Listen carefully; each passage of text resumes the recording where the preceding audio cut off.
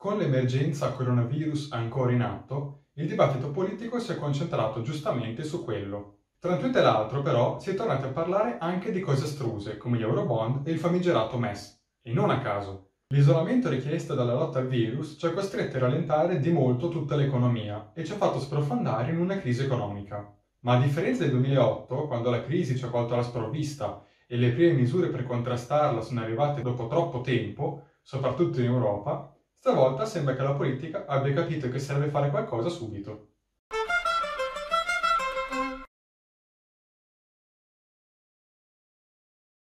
Il governo italiano ha messo in campo a marzo misure per circa 20 miliardi di euro, più 550 miliardi di garanzie per i prestiti alle imprese, mentre a giorni è atteso un intervento ancora più decisivo, nell'orbita dei 50 miliardi.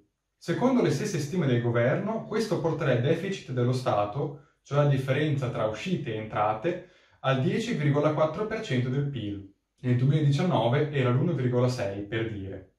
Ciò farà esplodere il debito pubblico, passando dal 134,8% del PIL nel 2019 al 155,7% nel 2020. Questo significa che se da una parte lo Stato perde molto introiti perché lavorando di meno i cittadini pagano meno tasse, dall'altra gli è stato richiesto uno sforzo economico maggiore, cioè più uscite, per aiutare chi è in difficoltà e far ripartire l'economia il più presto possibile.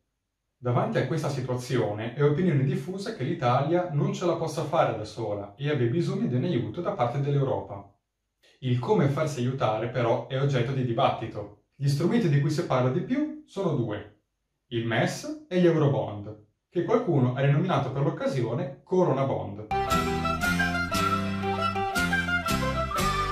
Per capire che cosa è il MES dobbiamo tornare un po' indietro nel tempo. Nel 2011-2012 la crisi economica cominciò a creare problemi finanziari ad alcuni stati dell'Eurozona, ossia quei paesi dell'Unione Europea che adottano una moneta unica. Dal momento che i paesi dell'euro hanno una banca centrale in comune, ogni Stato non può decidere da sé di mettersi a stampare più moneta, e questo spinse i mercati a dubitare che questi potessero ripagare i loro ingenti debiti pubblici senza l'ancora di salvezza di creare più soldi per farlo. Ciò portò in alto i tassi di interesse che alcuni stati come Grecia, Italia, Spagna, Portogallo, Cipro e Irlanda dovevano pagare sui loro titoli di Stato per rifornirsi di capitali, fino a renderli quasi insostenibili. L'Europa realizzò che se uno di questi paesi fosse crollato, avrebbe portato con sé tutto il continente. Si decise quindi di costruire un fondo salva stati, che diventò poi il MES, Meccanismo Europeo di Stabilità. Con un capitale di 700 miliardi versati in quote da tutti i paesi della zona euro, il MES può correre in soccorso dei paesi in difficoltà, fornendogli dei prestiti a tassi vantaggiosi.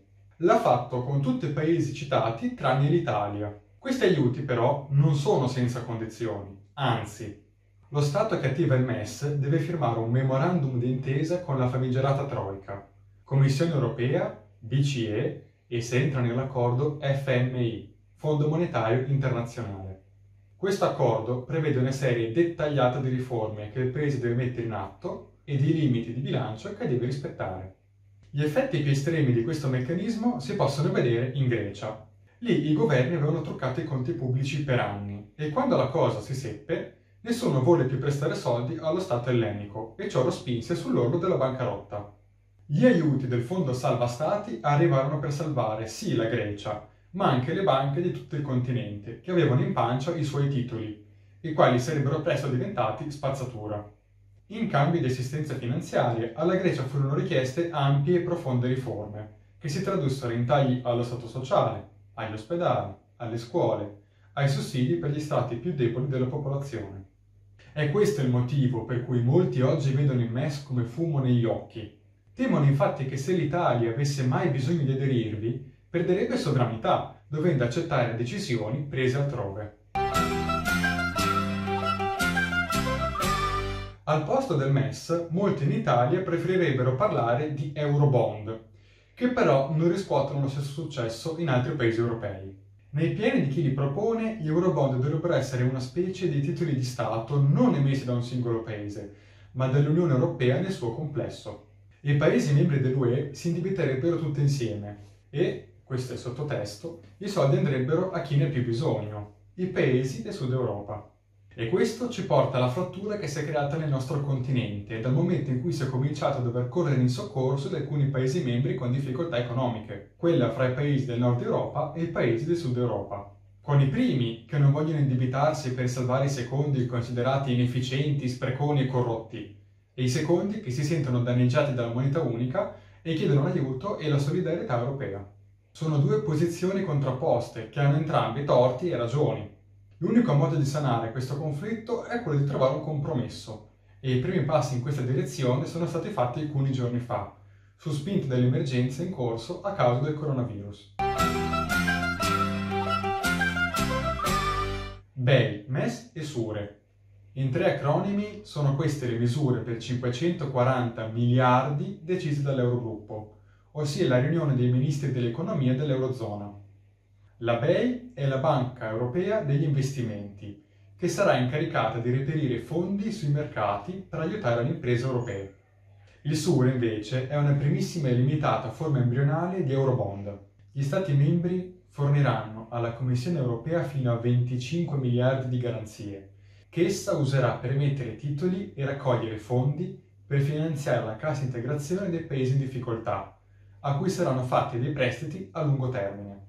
Infine, sono state introdotte delle modifiche al MES, che permetteranno agli Stati di chiedere prestiti per un totale di 240 miliardi di euro, 36 per l'Italia, senza condizioni, tranne quella di usare i soldi solo per le spese sanitarie dirette e indirette. Per il nostro Paese, accedere a questi finanziamenti farebbe risparmiare quattrini, perché essi avrebbero dei tassi di interesse più bassi di quelli che paghiamo adesso sui titoli di Stato italiani. Tuttavia, l'Italia e gli altri paesi del Sud difficilmente chiederanno di ricorrere al MES, per una serie di ragioni.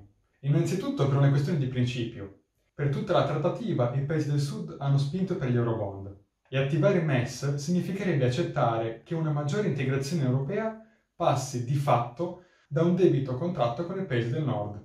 In secondo luogo, non è ancora chiarissimo fino a che punto il MES sia senza condizioni. Al momento c'è solo qualche riga di annuncio e non ci sono ancora dettagli tecnici. Infine, chiedendo un prestito al MES sorgerebbe un problema di reputazione, sia nei confronti dei mercati, che potrebbero cominciare a pensare che paesi del sud Europa fatichino a ripagare i loro debiti, sia nei confronti degli avversari politici, che accuserebbero chi sta al governo di cedere ulteriore sovranità all'Europa.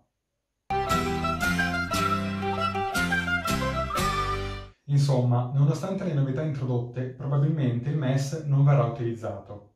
Ma se il MES esce di scena, gli Eurobond potrebbero entrarci.